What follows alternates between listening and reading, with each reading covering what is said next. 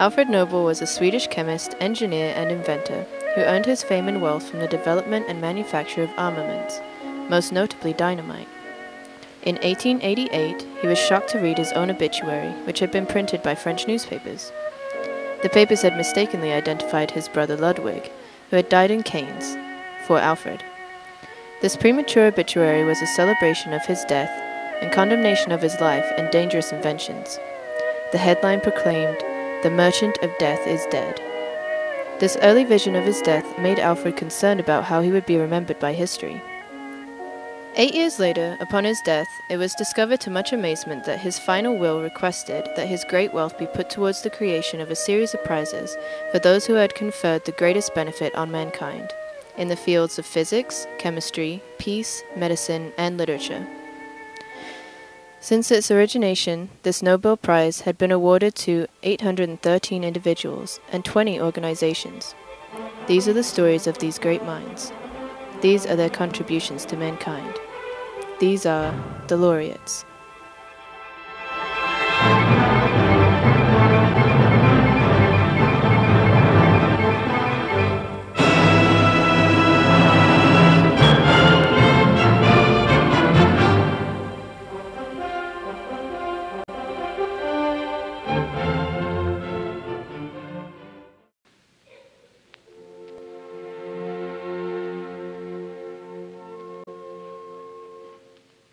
The first Nobel Prize in Physics went to a German scientist named William Conrad Röntgen. William Röntgen was born on March 27, 1845, to a textiles manufacturer in the Lower Rhine province of Germany. When he was three, his family moved to Apeldoorn in the Netherlands. There he attended the Institute of Martinus Hermann van Doorn. He demonstrated no special skills during his time there, but was very fond of nature, often meandering about the woodlands. In 1862, he moved to Utrecht to attend a technical school. He was expelled, however, due to being wrongly accused of drawing an offensive caricature of a teacher. In 1865, he enrolled at the Polytechnic in Zurich as a student of mechanical engineering, graduating PhD in 1869. It was the late 1800s. In America, Mark Twain was calling it the Gilded Era as a criticism of the disparity between rich and poor. But in Europe, it was the gay 90s, a time of merriment and cultural advancement. The first standardized car, the Benz Velo, was released in Germany, allowing motorists to zip about cities, which were growing rapidly due to the Second Industrial Revolution. Scientific advancement inspired authors. H.G. Wells published The War of the Worlds and The Time Machine. The Lumiere brothers, with their lightweight cameras, were capturing the motion and excitement of this time.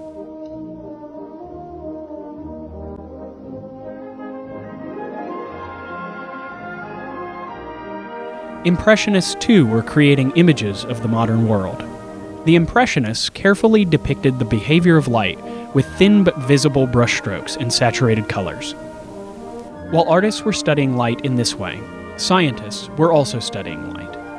In 1887, Heinrich Hertz discovered the photoelectric effect, the same year that the Michelson Morley experiment showed the speed of light to be a constant. Röntgen also studied light, among other things. He conducted experiments with the relationship of pressure to the bending of light passing through fluids. He also studied the ability of electromagnetism to influence planes of polarized light. But his greatest contribution to science would come when he began to work with vacuum tubes.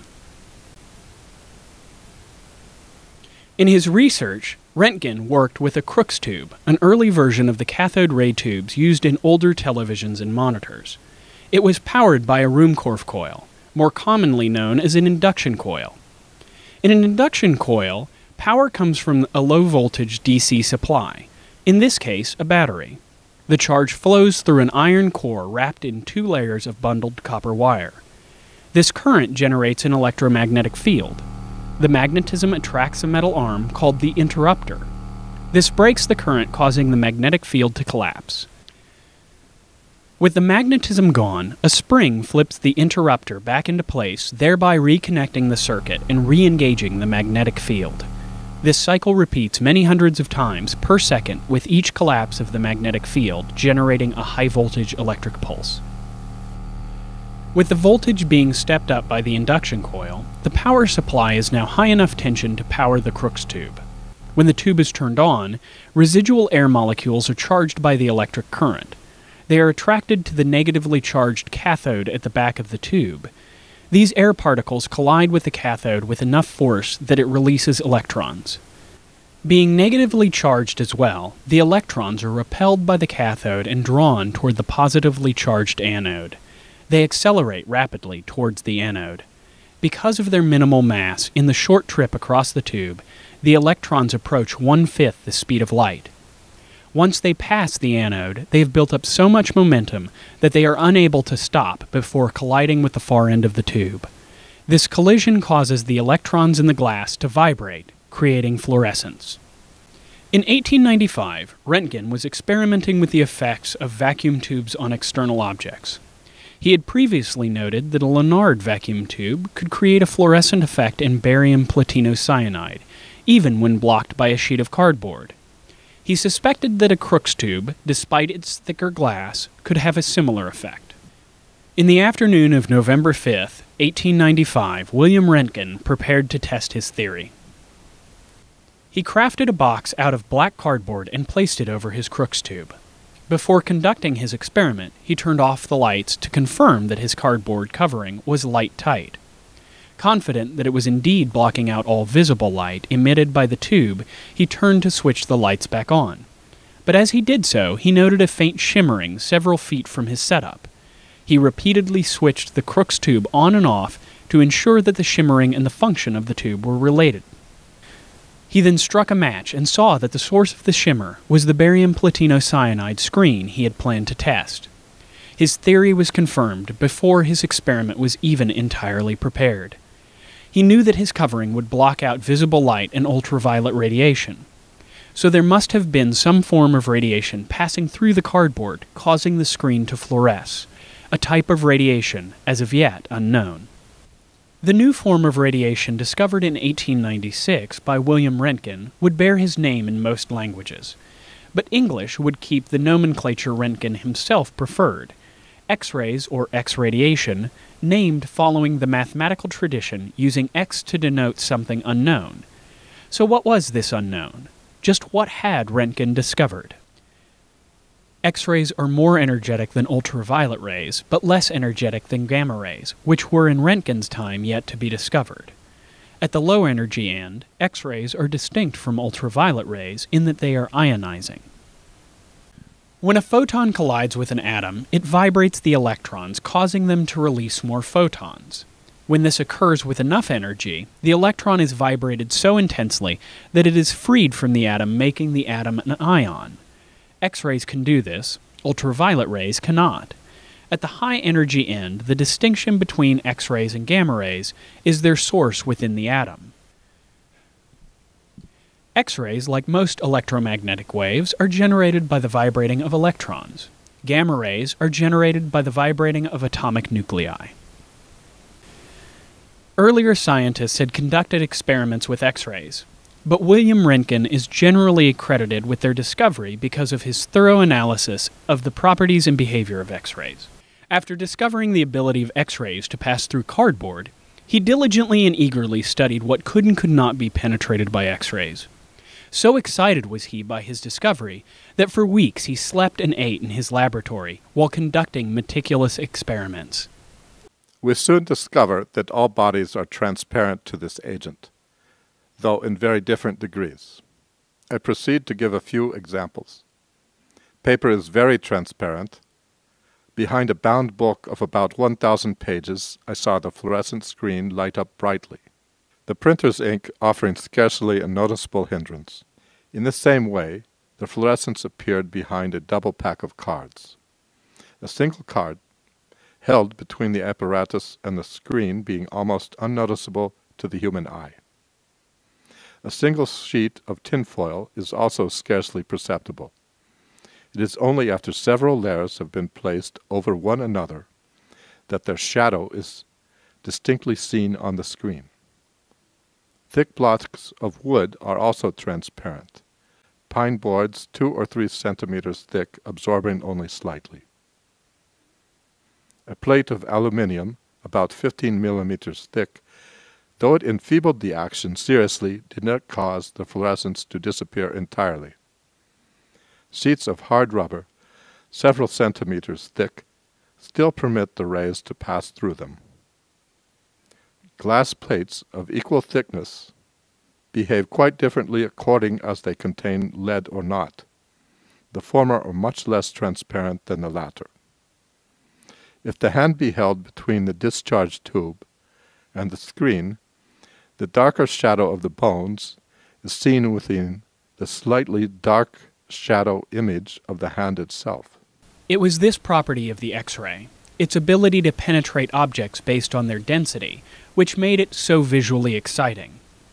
It was while holding a piece of lead in front of the screen that Röntgen first noticed his skeleton appearing in the shadow. After this discovery, he continued his research in secret, fearing that his observation may be mistaken or that colleagues would not believe his remarkable claims. He soon found that photographic plates were sensitive to the X rays, thereby enabling him to document the shadow images he'd been seeing. His first X ray print was of his wife's hand. Her bones could be seen within the translucent outline of her hand, but darkest of all were her wedding bands. She is recorded to have exclaimed upon seeing the X ray image of her hand, I have seen my death.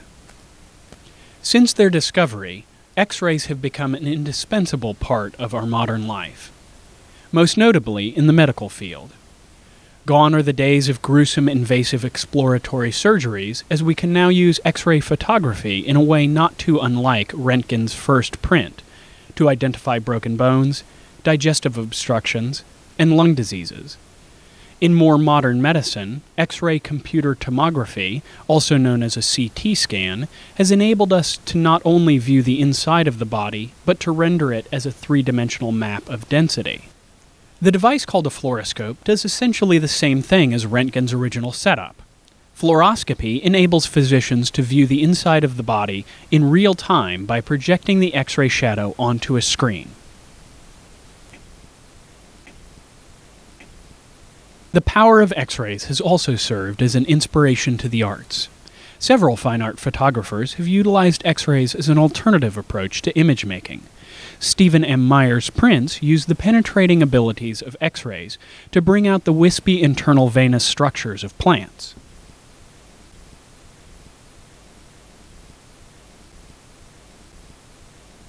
Nick Veasey's fine art X rays cover a wide range of subjects, from seashells and insects to toys and clothing. He works on a large scale, doing X rays of full figures and vehicles. He is even responsible for what is thought to be the largest X ray image ever created an entire Boeing 777 jet. Peter Dazeley uses recoloring and dynamic positioning to counteract the associations of death and dysfunction created by the skeletal figures and exposed internal mechanisms shown in his work. He creates emotionally powerful images which many people may not expect from a typically scientific process. Beyond the creation of art images themselves, X rays have also served a functional role in the arts an X ray scan of a painting can be used to verify its authenticity. Many painters recycled their canvases, painting new images over rejected ones. A lack of failed sketches or rejected paintings would be a tell to an art historian that an image is a duplicate. One example is that of Van Gogh's Patch of Grass, which was confirmed to be authentic when an X ray revealed an older portrait of a woman underneath. Most people likely know X ray imaging best because of its use in airport security. The radiation easily moves through common items like clothes, paper, and the luggage itself, but will be blocked by anything metal and potentially suspicious. The technique of X ray crystallography uses the refraction or bending of X rays to determine the structure of a molecule. It was most famously used to determine the double helix structure of the DNA molecule a discovery which led to Francis Crick and James Watson receiving the 1962 Nobel Prize for Chemistry. Riccardo Giacconi, another Nobel laureate, owes his success to William Röntgen. He was awarded the 2002 Nobel Prize in Physics for his work engineering the equipment for X ray astronomy. X ray astronomy uses space based telescopes which detect X rays rather than visible light. This allows us to detect celestial bodies and structures which we could not otherwise see.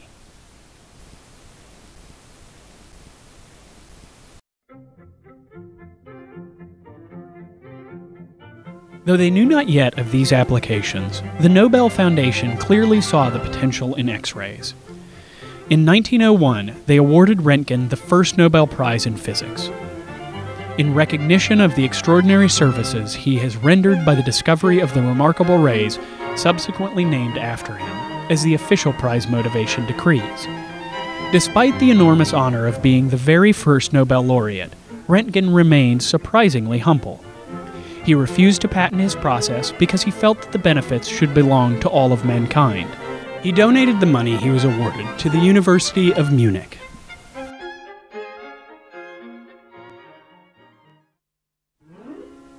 Röntgen died on February 10, 1923, of a malignant tumor in his intestine.